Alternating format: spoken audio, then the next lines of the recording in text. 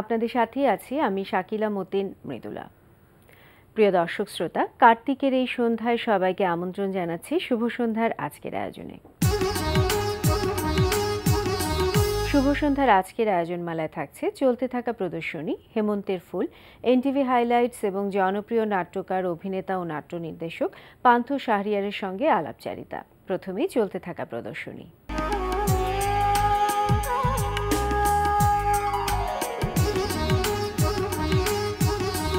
জানিয়ে দিচ্ছি, চলতে থাকা প্রদর্শনীর সময়সূচি।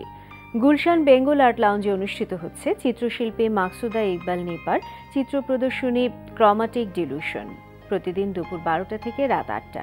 এই সময় প্রদর্শনী চলবে একুশ নভেম্বর পর্যন্ত। গ্যালারি টোয়েন্টি ওয়ানে প্রদর্শিত হচ্ছে দশজন শিল্পীর দলীয় প্রদর্শনী ইরা। প্রদর্শনী চলবে নয় নভেম্বর পর্যন্ত। দেখছিলেন চলতে থাকা প্রদর্শনীর সময়সূচি। এবারের আয়োজন হেমন্তের ফুল। সব ঋতুতেই ফুল ফোটে। তেমনি হেমন্ত ঋতুর রয়েছে কয়েকটি নির্দিষ্ট ফুল। আমাদের আজকের ফুল মটমটিয়া বা বনপুদিনা। দেশের পতিত স্থান ও জলার ধারে জন্মে ফুল বনপুদিনা। এটি ঝোপ জাতীয় গাছ। এর ডালপালা ও কাণ্ড নরম। ভাঙার সময় মট করে শব্দ হয় বলেই সম্ভবত এমন নামকরণ করা হয়েছে। পাতা আয়তকার, ঝাঁঝালো গন্ধি, পাতার কিনারা দেখতে করাতের মতো। পাতার কোলে ফুল ফোটে। এর পাপড়ি সংখ্যা চার থেকে পাঁচটি। নীলচে গোলাপি রঙের। মাঝখানে হলুদের ছিটা। হেমন্ত ঋতুতে ফোটে বন পুদিনা। বন পুদিনার পাতার রস পেটের অসুখ ও নার্ভের টনিক হিসেবে কাজ করে। এর জন্মস্থান আমেরিকা। দেখছিলেন হেমন্তের ফুল। আমাদের এবারের আয়োজন এনটিভি হাইলাইটস।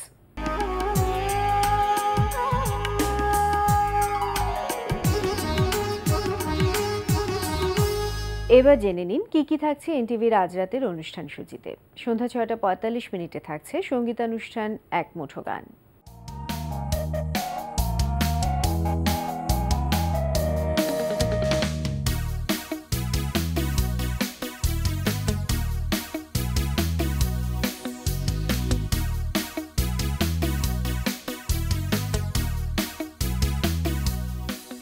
রাত আটটা বিশ মিনিটে থাকছে মেজবাউদ্দিন সুমন রচিত নজরুল ইসলাম রাজু পরিচালিত ধারাবাহিক নাটক লেক ড্রাইভ লেন। ওই মেয়ের সাথে তোমার প্রেম হয়ে গেছে না? ও Rebecca you are so mean আমি তো এখানে প্রেম ভালোবাসা করতে আসিনি। আমি একটা স্পেসিফিক দায়িত্ব নিয়ে এসেছি হ্যাঁ?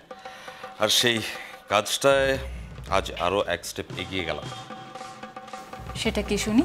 রাত নয়টায় দেখবেন আলফ্রেড খোকনের প্রযোজনায় ফারাহ শারমিনের উপস্থাপনায় সঙ্গীতানুষ্ঠান তারায় তারায় রচিত। তারায় তারায় রচিত অনুষ্ঠানে আপনাদের সবাইকে স্বাগত জানাচ্ছি। আমি ফারাহ শারমিন ভুলেছি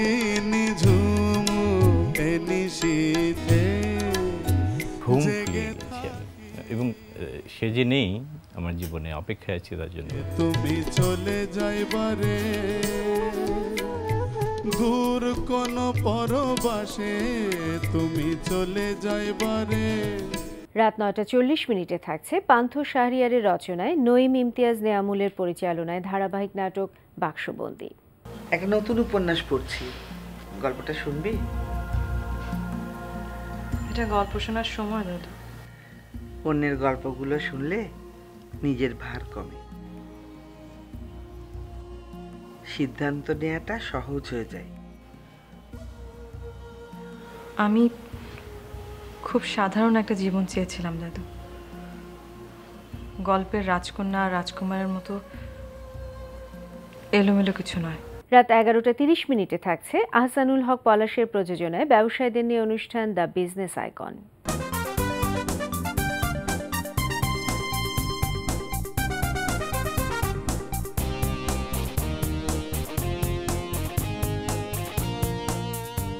এই ছিল এনটিভির আজ রাতের অনুষ্ঠানমালার হাইলাইটস এবার আসছি আলাপচারিতায়।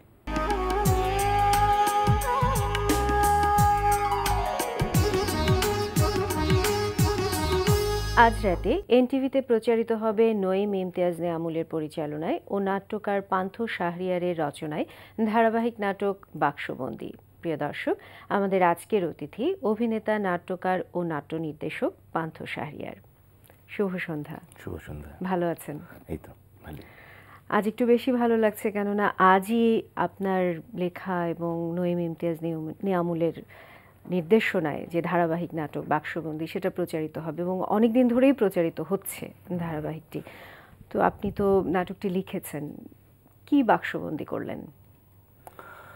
একটা যে জায়গাটা ছিল আমরা না আমাদের সমস্ত কিছু ইমোশন থেকে শুরু করে আমাদের দেখার চোখ আমাদের দৃষ্টিভঙ্গি সব কিছুকে ছোটো করে ফেলছি।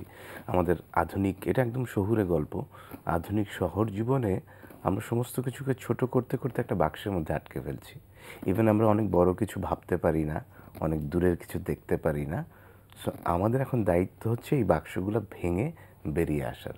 গল্পটার মূল কথাটা হচ্ছে এটাই যে, এই বাক্সবন্দি জীবন থেকে আসলে আমাদেরকে বেরিয়ে আসতে হবে। আমি আশা করি কোনো একদিন নিশ্চয়ই বেরোতে পারব। অবশ্যই। সবাই যদি সচেতন হয়, নাটকের মধ্য দিয়ে এবং শিল্পের মধ্য দিয়ে সবাইকে যদি সচেতন করা সম্ভব হয়, আশা করছি যে একদিন পরিবর্তন হবে।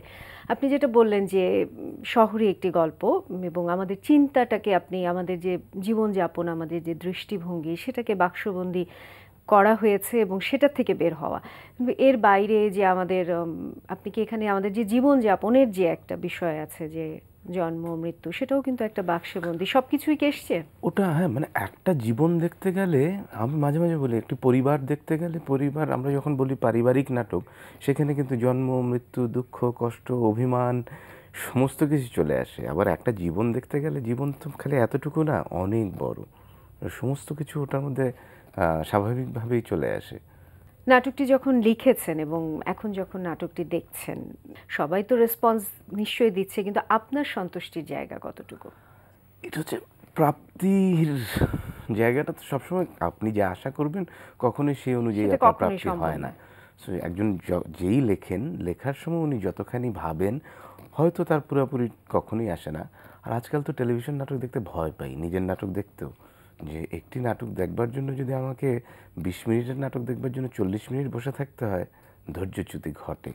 বা আমার কখনো মনে হয় যে আপনি খুব ভালো একটা ইমোশন দিলেন খুব ভালো একটা গল্প বললেন উনি বানালেন তারপরে দর্শক শিল্পীরাও ভালো করলেন কিন্তু দর্শক দেখতে পারলেন না এক নাগারে। এতবার ইন্টারাপ্ট হলে পরে আপনার ইমোশন নষ্ট হয়ে যায় আপনার গল্প বলার ভঙ্গি নষ্ট হয়ে যায়।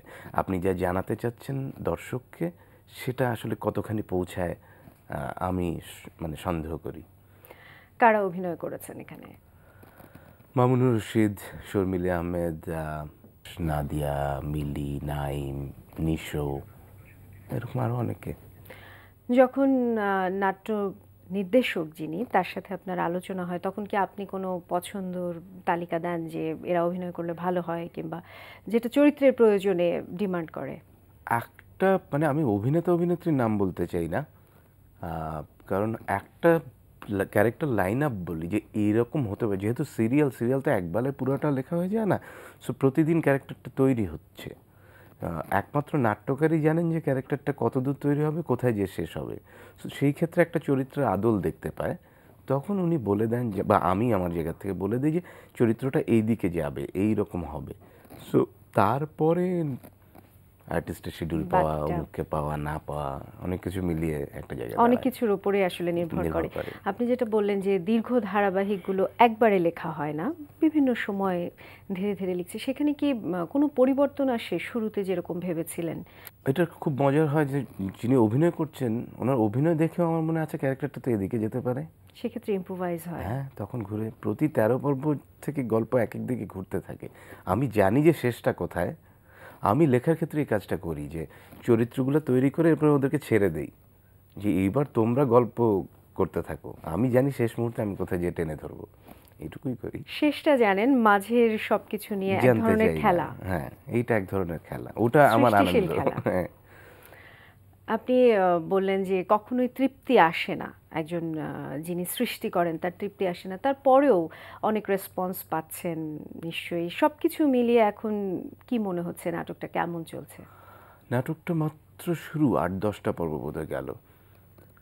এটা আর একটু ধরে আসতে, কারণ আমি যেটা বললাম যে আমি ওই বাক্সবন্দির মধ্যে খালি দৃষ্টিভঙ্গি, মনন অনেক কিছু দেখতে চেয়েছি। ইমোশন সো একটা লোককে আপনি ইমোশনালি একটা নাটকের মধ্যে ঢোকাতে গেলে আরেকটু সময় লাগে। আমি বিশ্বাসই করি একটা নাটক অডিয়েন্সের কাছে যেতে যেতে তেরো থেকে ছাব্বিশটা পর্ব লেগে যায় যখন সে নিজের ভাবতে শুরু করে।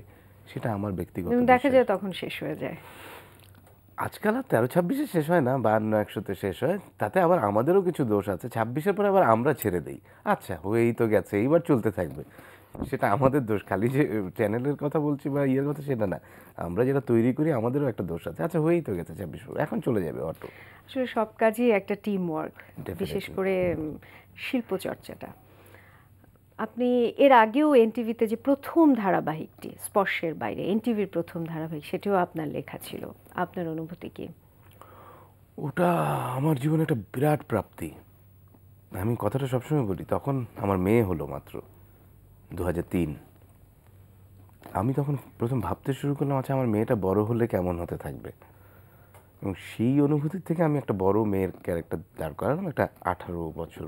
আমি ভাবতেই শুরু করলাম, আঠারো বছর বয়সে এসে আমার মেয়েটি কীরকম করতে পারে? সেই জায়গা থেকে গল্পটা শুরু। আর একটু আগে আপনি বললেন না টিম ওয়ার্ক তখন পর্যন্ত না নাটক ভীষণ টিম ওয়ার্ক ছিল। সেই ওটার ডিরেক্টর ছিল একসময় অমিতাভ রেজা শহীদুজ্জামান সেলিম মানে অনেকে মিলে ডিরেকশন দিয়েছিল। অনেক অভিনেতারা ছিলেন। আমরা প্রায়শই বসতাম। মানে সেলিম শহীদুজ্জামান সেলিম সেলিম ভাইয়ের সাথে যে কতবার বসা কত পারিবারিক আমার বাসায় এসে তার বাসায় আমি কারণ আমরা একটা কিছু করছি। ভালো কাজ করা হ্যাঁ আমরা অভিনেতাদের নিয়ে বারবার বসছি ক্যারেক্টার নিয়ে বসছি কস্টিউম কী হবে সেটা নিয়ে বসছি। একটা টিম মিলে কাজটা করতাম। আজকে সেটা একটু নষ্ট হয়ে গেছে। নাট্যকার লিখে দিচ্ছে নির্দেশক বানিয়ে নিচ্ছে অভিনেতা খালি নিজের দৃশ্যটি পড়ছেন। জানেন না যে তার কো অ্যাক্টরের মানসিক অবস্থা কি? তাহলে আসলে ভালো কাজ আশা করা একটু কঠিন। লেখালেখির পাশাপাশি অভিনয় তো করছেন। মঞ্চে আপনারই লেখা একটি নাটক রেপার্টারি থিয়েটারে হচ্ছে অন্ধকারের মিথেন। সেখানে আপনি অভিনয় করছেন। হঠাৎ করেই কি? অভিনয়টা আমি সবসময় করি মঞ্চে। আমি টেলিভিশনে অভিনয় করতে চাই না। মানে হয় আমি পারি না টেলিভিশনে অভিনয় করতে অথবা আমি স্বাচ্ছন্দ্য বোধ করি না। কিন্তু মঞ্চে আমি অনেক বছর ধরে আমি নাগরিকের সাথে আছি প্রায় আজকে পঁচিশ বছর এবং আমি নাগরিকে অভিনেতা হিসেবেই আছি। আর দু হাজার দশে বারামখানা লিখলাম থিয়েটারের জন্য। মজুমদার ডিরেকশন দিয়েছেন। আর দু হাজার দশে নাগরিকে একটা ডিরেকশন দিলাম ঘাসিরাম কোতোয়াল বিজয় তেন্ডুলকারের। আর গত বছর অন্ধকারে মিথেন নামক যে নাটকটি করেছি, এটা একটা রেপারেটরি ফর্ম আমরা আসলে এইটাও ওই টিম ওয়ার্কের মতো, পাঁচটা দলের বন্ধু বান্ধব আমি, আমার দলের আরও দু একজন বন্ধু আছে, থিয়েটারের প্রাচ্যনাটের আরণ্যকের সিএটির আমরা সবসময় বলতাম যে আচ্ছা যে কোনো নাটক নিয়ে তো আমরা বলি, এ, এটা হয়নি, এটা এমন হতে পারতো। ওটা আসুন আমরা নিজেরা একসাথে করে দেখি। সো যে দেখা গেছে বন্ধু বান্ধবরা মিলে একটি নাটক করতে শুরু করলাম। কে লিখবে? যেহেতু নাট্যকার একজন আছে ওদের আমার উপরে দায়িত্ব পড়ল এবং লিখতে শুরু করলাম। আমরা একটু ইডিপাস কমপ্লেক্স নিয়ে কাজটা করেছি। ইডিপাস কমপ্লেক্সকে অন্য জায়গা থেকে দেখতে চেয়েছি। দেখে এটা একটা রেপার্টারি করা। আর অভিনয় যেটা নাগরিকে কিন্তু আমি সব নাটকে অভিনয় করছি নাগরিকের। রিসেন্ট নাগরিকের দেওয়ানগেজির কিস্সা আবার রিভাইভ করল আসাদুজ্জামান নূর ডিরেক্টর সেটাতেও কাজ করছি। সো অভিনয়টা মঞ্চের জন্য ওটা আমার খুব শখের জিনিস ওটা তোলা থাক। ওটা ভালোবাসা প্যাশন হ্যাঁ ওটা তোলা থাক। মঞ্চের জন্য লিখছেন টেলিভিশনের জন্য লিখছেন। বিষয়বস্তুর কি কোনো পার্থক্য থাকে নিজের কল্পনার জগতে? হ্যাঁ নিশ্চিতভাবে কারণ মঞ্চে অনেক স্বাধীনভাবে অনেক কিছু করা যায়। টেলিভিশন তো কোথাও গিয়ে একটু ড্রয়িং রুম মিডিয়া কোথাও যে সেন্সরশিপ আছে সেগুলো তো একটু মাথায় থাকতেই হয়। দর্শকদের চাহিদারও কি ভিন্নতা আছে? হ্যাঁ দর্শকদের আপনি যখন মঞ্চে একদম তিনটা মাধ্যমই আলাদা। আপনি যখন মঞ্চে নাটক দেখতে যায় দর্শক এক ধরনের মানসিক প্রস্তুতি নিয়ে যায়। যখন সিনেমা দেখতে যায় এক ধরনের মানসিক প্রস্তুতি নিয়ে যায়। আর যখন টেলিভিশন নাটক দেখে একরকম আমি যেমন বলি আপনি সিনেমা হলে টিকিট কেটে ঢুকছেন বা মঞ্চে এবং আপনাকে একটা অন্ধকার ঘরের ভিতরে আমি ঢুকিয়ে দিচ্ছি আপনি সামনের অতটুকু আলো ছাড়া আর কিছু দেখছেন না। সব দেখছেন আপনি। আর টেলিভিশন হচ্ছে চলছে আপনি চা খাচ্ছেন বাচ্চার স্কুলের পড়া দেখছেন কখনো কখনো এটা ওটা উল্টাচ্ছেন আর নাটক দেখছেন। ওখানে বোধহয় দর্শকরা অনেক বেশি বিনোদন চায়। হ্যাঁ হয়তো বা আর বিনোদন মানে আমি জানি না আমি এটা বলি বিনোদন মানেই কি হাসি? আপনার আপনাকে যদি এখন জিজ্ঞেস করা হয় কোন সিনেমাটার কথা আপনার মনে আছে আপনি হয়তো খেয়াল করে দেখবেন যেই সিনেমাটা সবচেয়ে বেশি কষ্ট পেয়েছিলেন সেটার কথা সবার আগে বলবেন। সেটা কি বিনোদন না। অবশ্যই। আমাদের এখন একটা কনসেপ্ট হয়ে গেছে বিনোদন মানে হাসি। মানে দর্শকদের যেমন আমাদের নির্মাতাদের আমাদের টেলিভিশন চ্যানেল বিনোদন মানে হাসি না? আপনার সাথে কথা বলে অনেক ভালো লাগল। আমরা অনুষ্ঠানের একেবারে শেষ পর্যায়ে চলে এসেছি। আপনাকে অনেক অনেক ধন্যবাদ। আপনার কাজের অনেক অনেক সাফল্য কামনা করছি। ধন্যবাদ আপনাদেরকে এনটিভিকে আমাকে ডাকবার জন্য। দর্শকদের প্রতি অনুরোধ রইল আপনারা বাংলাদেশের নাটক দেখেন। প্রিয় দর্শক, কথায় কথায় আমরাও চলে এসেছি অনুষ্ঠানের শেষ প্রান্তে। আমাদের সঙ্গে যোগাযোগের ঠিকানা, প্রযোজক শুভ সন্ধ্যা, এনটিভি বিএসএসসি ভবন, সাততলা একশো দুই কাজী নজরুল ইসলাম এভিনিউ কারওয়ান বাজার ঢাকা এক দুই এক পাঁচ। আমাদের email address Shubho Sondhya at NTV BD dot com প্রিয় দর্শক, এনটিভিতে সম্প্রচারিত সংবাদ ও অন্যান্য সকল অনুষ্ঠান দেখতে লগ ইন করুন W W W dot NTV BD dot কমে সবাই ভালো থাকুন, সুস্থ থাকুন। এ প্রত্যাশা রেখে শেষ করছি আমাদের আজকের অনুষ্ঠান। শুভরাত্রি।